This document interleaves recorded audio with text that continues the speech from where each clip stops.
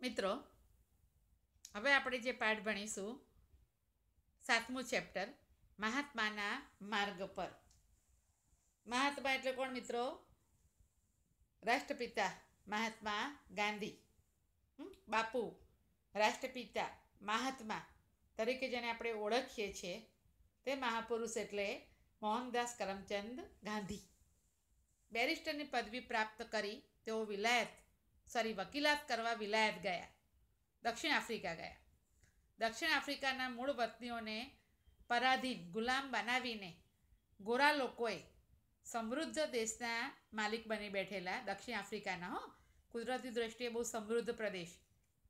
ગોરાઓની સરખામણીમાં અહીં ભારતીયોની સંખ્યા બહુ જ ઓછી. એટલું નહીં ભારતીયો બહુ ઓછા હક્કો ભોગવતા. આ અન્યાય અને અપમાનો સામે ગાંધીજીએ પડકાર કર્યો. પોતાને થતા અન્યાય સામે સત્ય અને અહિંસાથી લડવાની અનોખી પદ્ધતિ અપનાવી અને એને નામ આપ્યું સત્યાગ્રહ. પહેલ વહેલો આ શબ્દ ગાંધીજીએ ઉપયોગમાં લીધેલો. ગાંધીજી ડર્બન કોર્ટ ગયેલા, કોર્ટ જોવા ગયેલા. ત્યાં ન્યાયાધીશે, કેમ કે પહેલાં ગાંધીજીના કદાચ તમે ફોટા જોયેલા હોય, તો પાઘડી પહેરતા, ઉપર કેડિયું પહેરતા અને ધોતી પહેરતા, બરાબર? તો એ પાઘડી પહેરીને એમ, એ તો એમનો પહેરવેશ એ પહેરીને ન્યાય કોર્ટમાં, કોર્ટ જોવા ગયેલા છે. ન્યાયાધીશે પાઘડી ઉતારવા હુકમ કર્યો. ગાંધીજીએ કોર્ટ છોડી, પણ પાઘડી ન ઉતારી અને પોતાનું સ્વમાન જાળવ્યું. તેમનું આ વર્તન ત્યાંના ભારતીયોને ખૂબ ગમ્યું. દક્ષિણ આફ્રિકામાં ગાંધીજીની આગેવાની હેઠળ લડત ચાલી, કેમ કે કોરાઓ દ્વારા ભારતીયોને અન્યાય કરવામાં આવતો. ભારતીયોએ અપાર કષ્ટો વેઠ્યા પણ ક્યાં હિંસાનો ઉપયોગ કર્યો નહીં? અંતે સફળતા મળી અને છેવટે આ લડતની નોંધ લેવાઈ. અને ગાંધીજી વિશે થોડી માહિતી આપવામાં આવી છે મિત્રો, જે તમે ગાંધીજી વિશેની ટૂંક નોંધમાં ઉપયોગ કરી શકો. પૂરું નામ મોહનદાસ કરમચંદ ગાંધી. જન્મ બે દસ અઢારસો ને ઓગણસિત્તેર. જન્મસ્થળ પોરબંદર. માતા પુતળીબાઈ. પત્ની કસ્તુરબા. એમના આધ્યાત્મિક ગુરુ છે શ્રીમદ રાજચંદ્ર. રાજકીય ગુરુ ગોપાલકૃષ્ણ ગોખલે એમની આત્મકથા સત્યના પ્રયોગો મૃત્યુદિન છે ત્રીસ એક ઓગણીસો ને અડતાલીસ, એમની સમાધિ દિલ્હીમાં રાજઘાટ તરીકે ઓળખવામાં આવે છે. અહીંયા જુઓ, ગાંધીજી બરોબર વચ્ચે ઊભેલા દેખાય છે, જુઓ તમે, બરોબર વચ્ચે. હા, આપણને ચિત્ર આપેલું છે. બરાબર? કયું, ક્યાંનું છે જો નાતાલ કોંગ્રેસના સંસ્થાપક ડર્બન દક્ષિણ આફ્રિકા ઓગણીસો અઢારસો ને પંચાણું. બરાબર? અહીંયા જે એમણે સમિતિ સ્થાપી હતી એનું ચિત્ર આપણને આપેલું છે. દક્ષિણ દક્ષિણ આફ્રિકામાં સત્યાગ્રહની સફળ લડત કરીને ઈસવીસન ઓગણીસો ને પંદરમાં છેતાલીસ વર્ષની ઉંમરે ગાંધીજી ભારત આવ્યા. દક્ષિણ આફ્રિકાની રંગભેદ ગોરાકાળાના ભેદની લડત ચાલતી હતી. એમાં સફળતા મળતા આંતરરાષ્ટ્રીય સ્તરે લોકો એમનો આદર કરતા થયા. મુંબઈના એપોલો બંદર પર એમનું ભવ્ય સ્વાગત થયું. ગોપાલ કૃષ્ણ ગોખલેજીના રાજકીય ગુરુ કહેવામાં આવે છે. કહેવાથી ગાંધીજીએ પહેલા વર્ષે આખા ભારતનો પ્રવાસ કરીને લોકોની જરૂરિયાતો અને પરિસ્થિતિ સમજવાનો પ્રયાસ કર્યો અને ભારત ભ્રમણ બાદ ગાંધીજીએ પચીસમી મે ઓગણીસો પંદરના દિવસે, ધ્યાન આપજો બરોબર મિત્રો અમદાવાદના કોચરબમાં સત્યાગ્રહ આશ્રમની સ્થાપના કરી. એક વર્ષ બાદ તે આશ્રમ સાબરમતી નદીના કિનારે લઈ જવામાં આવ્યો, જે અત્યારે હાલ જોવા મળે છે તે.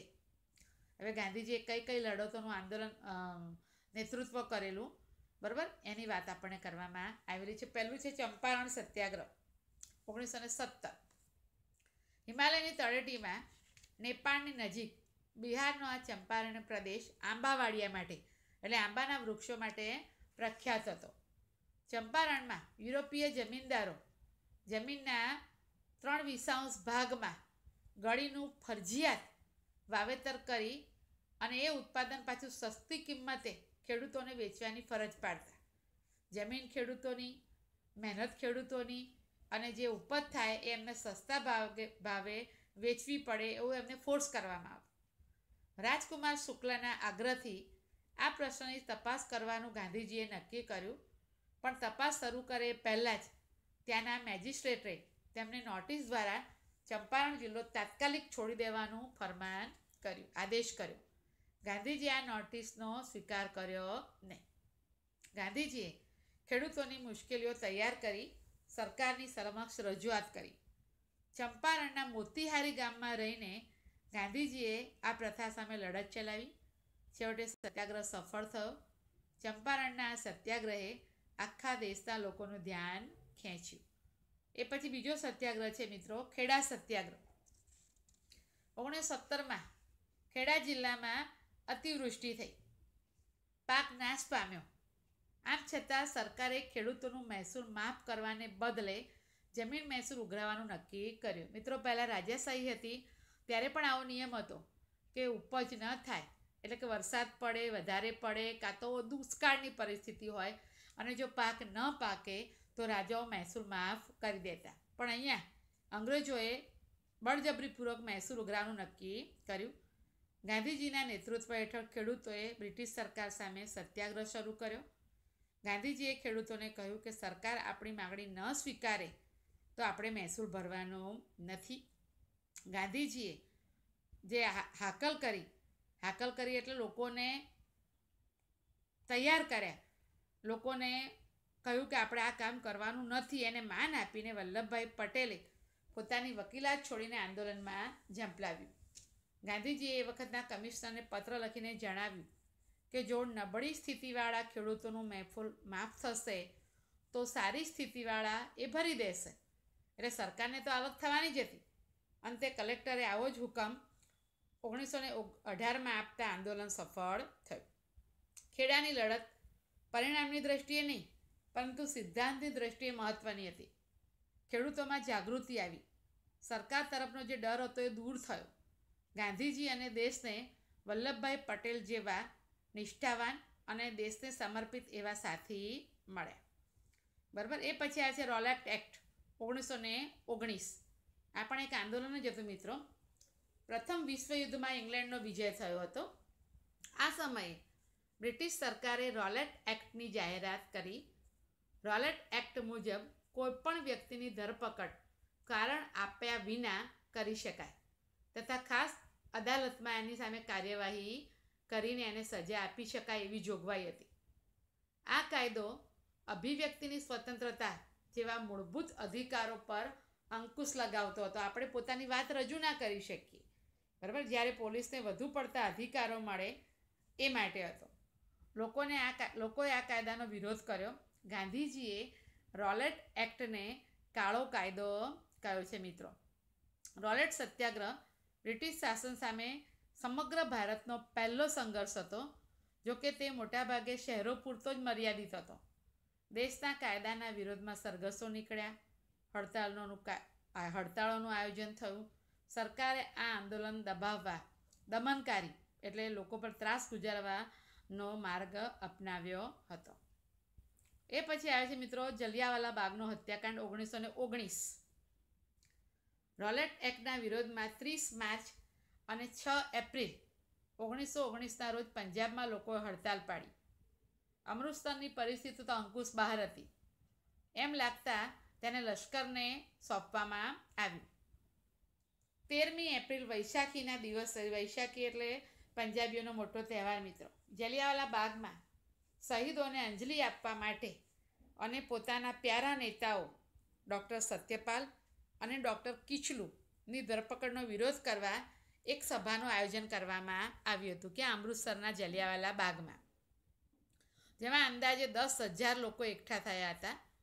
સભામાં શાંત અને નિશસ્ત્ર બેઠેલા લોકો પર જનરલ ડાયર, અંગ્રેજ લશ્કરી અફસર હતો, કોઈ પણ ચેતવણી આપ્યા વિના ગોળીબારનો હુકમ કર્યો.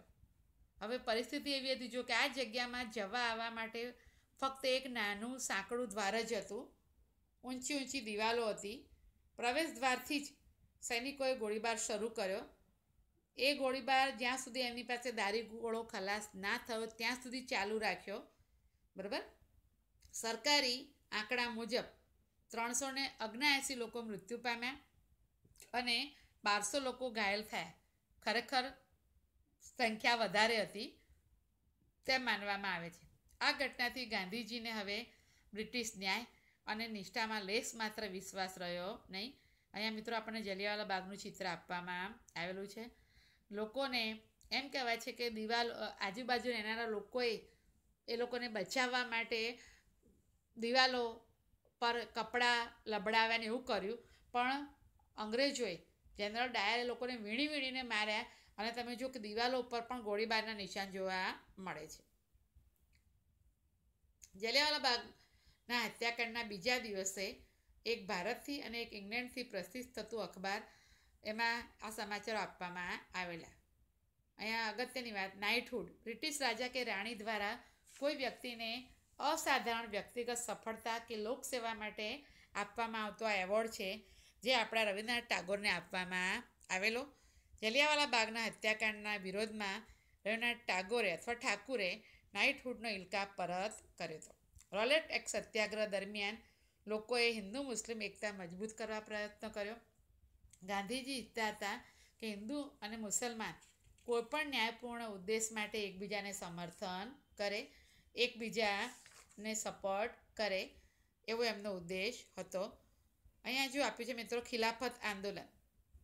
પ્રથમ વિશ્વયુદ્ધમાં મિત્ર રાષ્ટ્રોના વિજય પછી વિજેતા રાષ્ટ્રોએ પરાજિત તુર્કી એટલે હારેલા તુર્કી સાથે સંધિ કરવામાં આવી. આ સંધિની શરતો તુર્કી માટે કડક અને અન્યાયી હતી. તુર્કીનો સુલતાન એ વખતે ઇસ્લામ ધર્મનો ખલીફા ધાર્મિક વડો હતો. સંધિ મુજબ તેનું ખલીફા પદ રદ કરવામાં આવ્યું. આ સંધિનો વિરોધ કરવા ભારતમાં જે આંદોલન થયું, તે ખિલાફત આંદોલન કહેવાય છે મિત્રો. અલીભાઈઓ, મૌલાના શોકત અલી અને મૌલાના મોહમ્મદ અલી આ ખિલાફત આંદોલનના મુખ્ય નેતાઓ હતા. ગાંધીજીએ એમને સમર્થન આપતા આપતા કોંગ્રેસને આગ્રહ કર્યો કે પંજાબમાં થયેલા અત્યાચારો અને ખિલાફત બાબતે વિરોધ કરવા સાથે મળીને અભિયાન ચલાવવું અને સ્વરાજ્યની માંગ કરવી એટલે ગાંધીજીએ આ આંદોલનને ટેકો આપેલો.